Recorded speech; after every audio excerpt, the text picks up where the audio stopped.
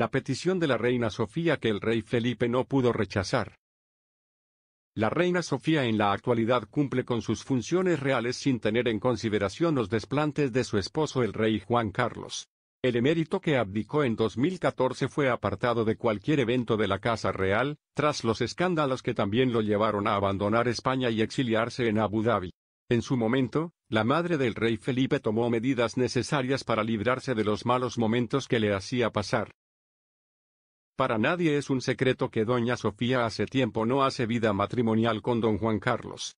De hecho, hace casi dos años que abandonó el país, y ella hasta donde se conoce nunca ha ido a visitarle, una acción que, con todo lo que sabe, no es para cuestionarle.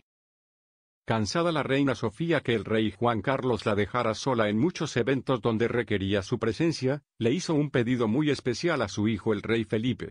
La abuela de la princesa Leonor le solicitó de forma oficial que por favor no la hiciera coincidir en ningún acto oficial con su esposo, algo que, como se pudo apreciar tiempo después, se cumplió a rajatabla.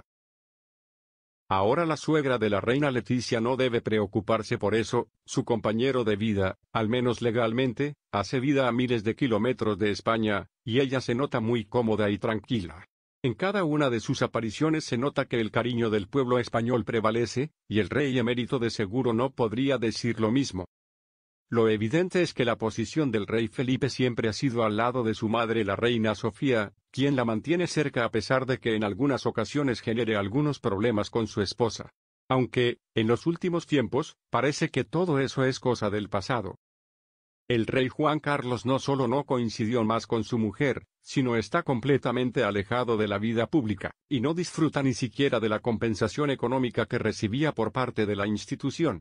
Su hijo se la quitó en el momento que salieron a luz muchas acciones cuestionables que hizo mientras estuvo en su mandato.